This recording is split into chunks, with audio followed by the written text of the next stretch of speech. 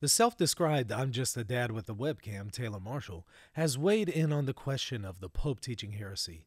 On multiple occasions, he has accused Pope Francis of teaching heresy, and he justifies that with an incomplete quote from Pope Hadrian.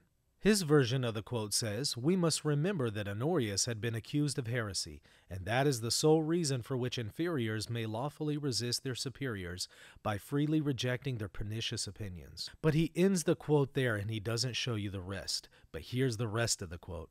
Although, even in this case, no patriarch or other bishop has the right of passing any judgment on him unless the consent of the pontiff, that is the pope, of the same first see has authorized it. In other words, it's only a pope who can judge another pope, and only a pope can authorize a judgment on another pope.